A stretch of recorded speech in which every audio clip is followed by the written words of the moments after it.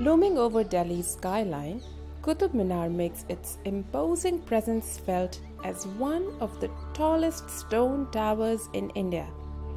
Located in the Mehrauli area of Delhi, this historical marvel is a part of the Qutub complex, a UNESCO World Heritage Site.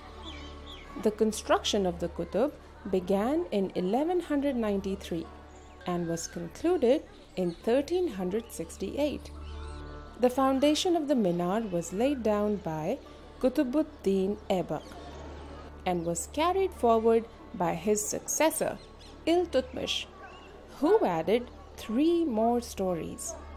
In 1368, Firoz Shah Tughlaq constructed the fifth and the last story. British too made some additions to the minar. The Gothic balustrades around the minar carry the British imprint. As the tower was completed by different emperors, each story showcases a different architectural style and is separated by a balcony. Qutub Minar is made of sandstone and marble. This tall minar is 72.5 meters high. There are 379 steps in this minar from bottom to top.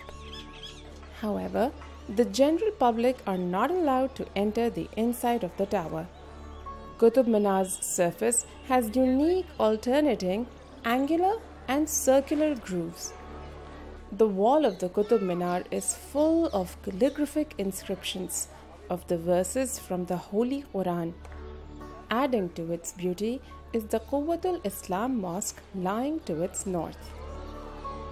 The gateway to the mosque the Alai Darwaza showcases one of the earliest uses of true arch in a building in India. The iron pillar, erected in 4th century AD, long before the other monuments in the Qutub complex, is still rust free. The Qutub Minar stands tall as representative of India's architectural heritage.